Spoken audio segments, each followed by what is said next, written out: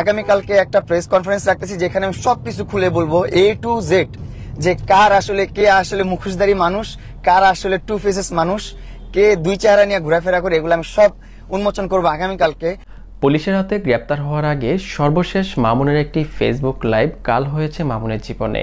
সেই লাইভে শুরুতে মামুন বলে লাইলা উপরে উপরে ভালোবাসার কথা বললেও মামুনের অজান্তে ভিতরে ভিতরে মামুনের বিরুদ্ধে একটি মামলা চালিয়ে যাচ্ছিলেন লাইলা লাইলা আমার নামে একটা মামলা করেছিল যেটা হচ্ছে ওর আমরা আপোষে চলে আসছি, সবকিছু ঠিকঠাক হয়ে গেছে, সবই ভালো ছিল, একসাথে আমরা চলাফেরা করছি, একসাথে কন্টেন্ট করছি ইভেন আপনারা দেখছেন আমার গ্র্যান্ড ওপেনিং ও ছিল।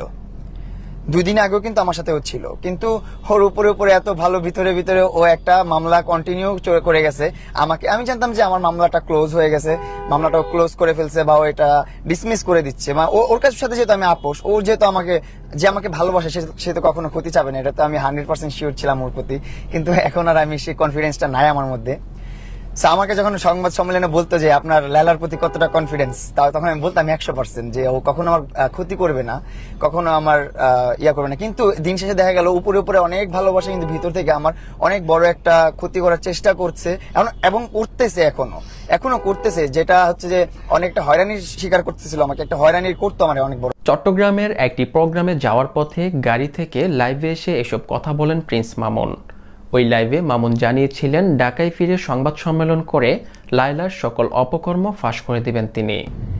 এগুলো নিয়ে আমি আগামীকালকে একটা প্রেস কনফারেন্স রাখতেছি যেখানে আমি সবকিছু খুলে বলব A to Z A to Z সবকিছু খুলে বলব যে কার আসলে কে আসলে মুখোশধারী মানুষ কার আসলে টু ফেসেস মানুষ কে দুই চেহারা নিয়ে ঘোরাফেরা করে এগুলো আমি সব উন্মোচন করব আগামীকালকে। তবে মামুনকে আর সেই সুযোগ দেয়নি লায়লা। জানা যায়, মামুন লায়লার বিরুদ্ধে সংবাদ সম্মেলন করার আগেই চট্টগ্রাম থেকে ঢাকায় ফেরার পথে কুমিল্লা থেকে মামুনকে গ্রেপ্তার করে পুলিশ। তাকে আমরা অ্যারেস্ট করেছি গতকাল।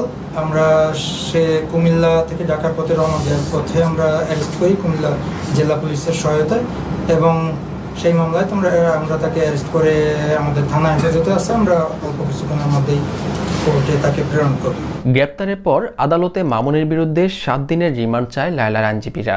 অন্যদিকে মামুনের আইনজীবী মামুনের জামিন চেয়ে আবেদন করে আদালতে। তবে আদালত উভয় পক্ষেরই আবেদন নামঞ্জুর করে মামুনকে কারাগারে পাঠিয়ে দেন। আসামিকে জিজ্ঞেস করেছে আব্দুল্লাহ আল মামুন প্রিন্স মামুনকে জিজ্ঞেস করেছে আপনারা কি একসাথে ছিলেন? উনি স্বীকার করেছে বিজ্ঞ আদালতে আমরা একসাথে ছিলাম।